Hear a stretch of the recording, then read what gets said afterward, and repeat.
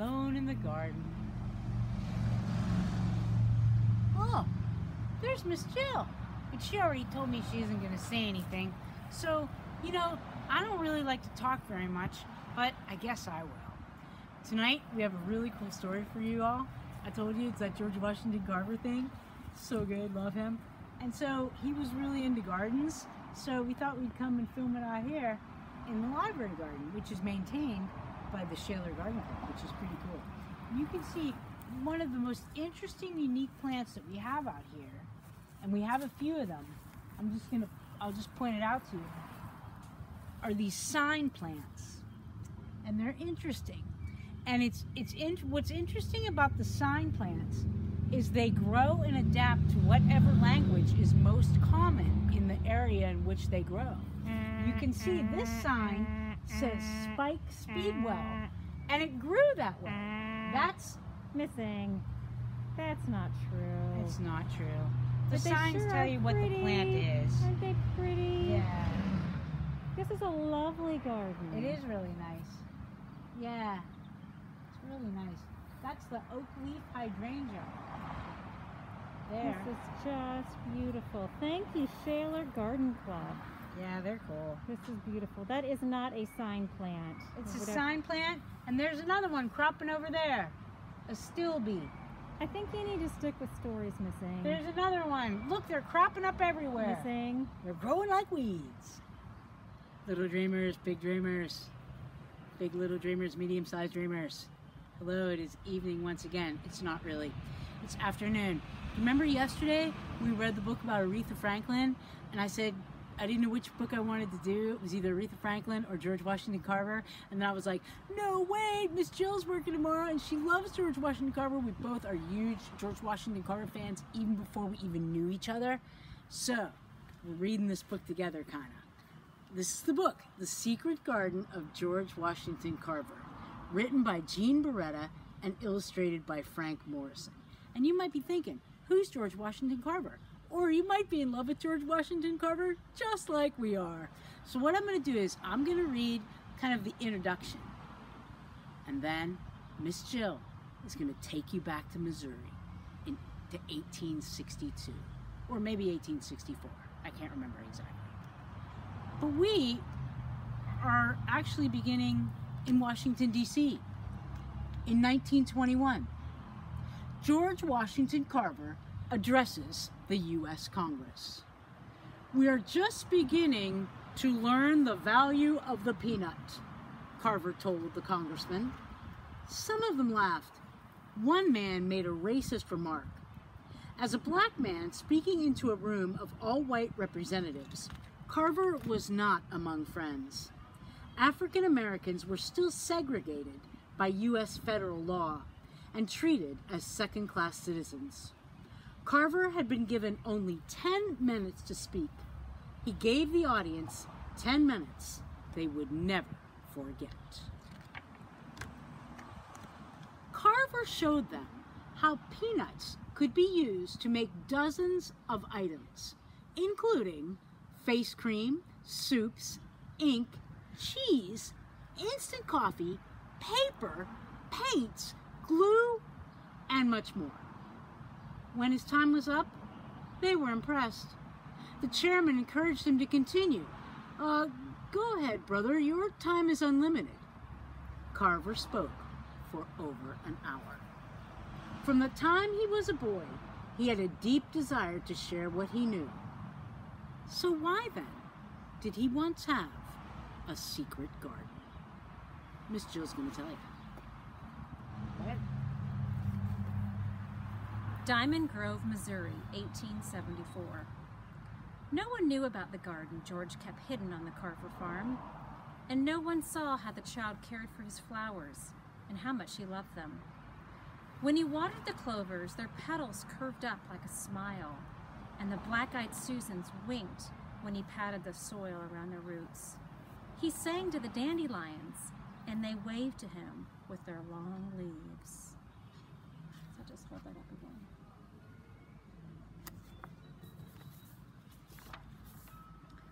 People used to tell him that growing flowers was a foolish waste of time. Why don't you grow something you can eat? Neighbor said. You can't make any money selling flowers, said his brother James. They're only good for attracting bees. Don't let your flowers take away from your chores, warned Moses and Susan Carver.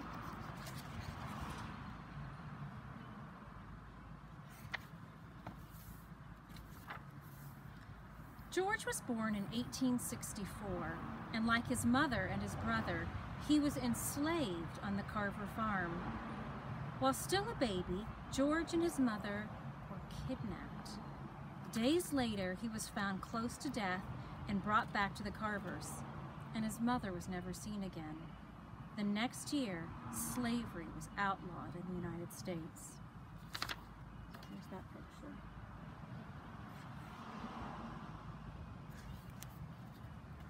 Moses and Susan Carver did not have children of their own and raised George and his brother on the farm.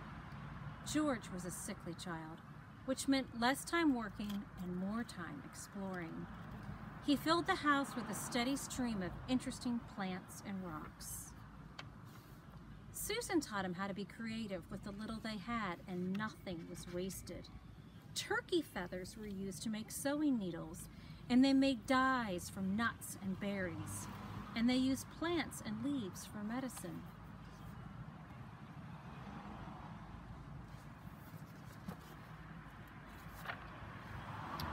Every day he ran into the woods to discover something new. I want to know the name of every stone and flower and insect and bird and beast, he said. Education was limited at home. George had only one book, which he read a dozen times. I know this book by heart, he told Susan. I wish I could go to school with the white children. So there's that one book. Slavery had ended, but U.S. segregation laws still denied black people the same rights as whites. George decided to create his own classroom in the woods and studied the subject he loved most, nature. And no matter how much people discouraged him, he wanted to grow flowers.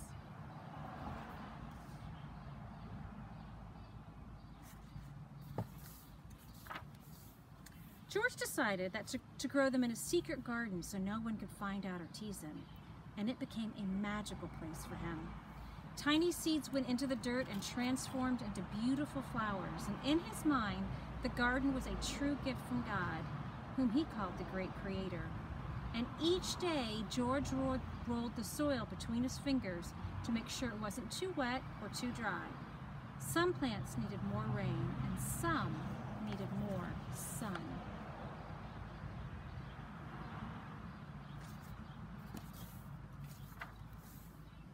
Come here. You need a haircut, George says, as, said as he cradled a daisy in his hand and clipped off its dry petals. He spread them around the soil to help the flowers grow. At first, the gardening was difficult because he couldn't ask for help and reveal his secret. The more he experimented, the more he learned.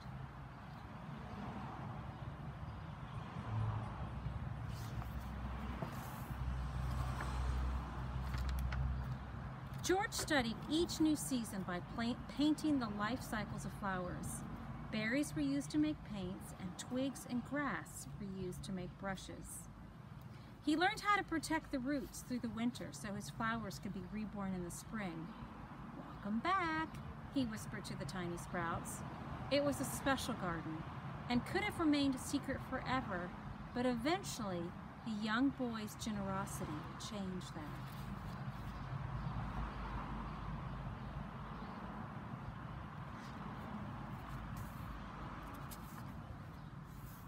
When George met a neighbor with a sick plant or flower, he offered to care for it. Part of his garden became part of a became a plant hospital. Wilting plants went in and blooming plants came out. No one could believe that such a small child had so many big ideas. Here comes the plant doctor, they'd say whenever he paid a visit.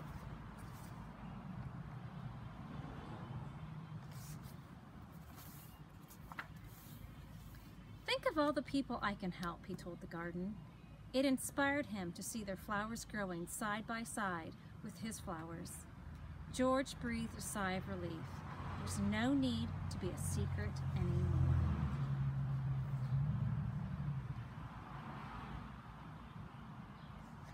And then Miss Ing's going to come back and pick off with his next adventure. When we last left George Washington Carver, he was knowing that he had to get on the road. I'm just so excited about George Washington Carver. Okay. George knew that there was much to see and learn away from the farm. At the age of 12, he said goodbye to his garden and set off for a new adventure. In Neosho, Missouri, he lived with Mariah Watkins, who gave him advice he carried into adulthood. Learn all you can, George, then give it all back to our people. Over the next 18 years, he lived in several states and attended many schools to study art and agriculture. It was not easy. After being accepted to Highland College in 1885, the all-white school refused to admit him when they learned that he was African American. But the young man was determined to get an education.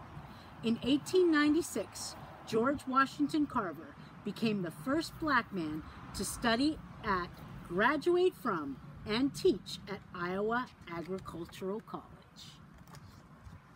That same year, Booker T. Washington, president of the Tuskegee Institute, hired to, him to teach agriculture. When Carver first arrived, he said, everything looked hungry. The land, the cotton, the cattle, the people. Farmers were in trouble.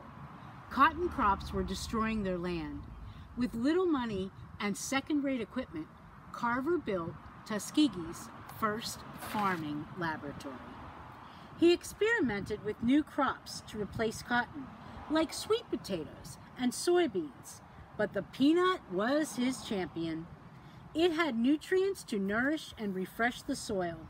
He convinced farmers to grow peanuts and then developed over and then developed over 300 uses for them. It wasn't long before peanuts became the largest crop in the South. Carver also traveled, created a traveling schoolhouse called the Jesup Agricultural Wagon to visit poor farmers. It offered everything from tool demonstrations to medical care to pamphlets on how to improve farms and live healthier. In its first summer, the wagon visited over 600 people. Carver's advice saved countless farms and families. What would you like to learn today? He asked a farmer. The best time to plow or how to raise a strong cow? Wherever he traveled and whenever he traveled, people went to hear him speak. After his historic day in front of the U.S. Congress, he became a living folk hero. He was also recognized as an early environmentalist, a voice for racial harmony, and an advisor to world leaders. With his new fame came many awards and honors, yet he remained a humble man, always ready to serve humanity. Since the days on the Carver farm, one thing never changed. Day after day, I spent in the woods alone in order to collect my floral beauties and put them in my little garden I had hidden in the brush not far from the house. regard nature, revere nature, and respect nature. And that is this book that just out came out this year, The Secret Garden of George Washington Carver. My friends, thank you for listening tonight.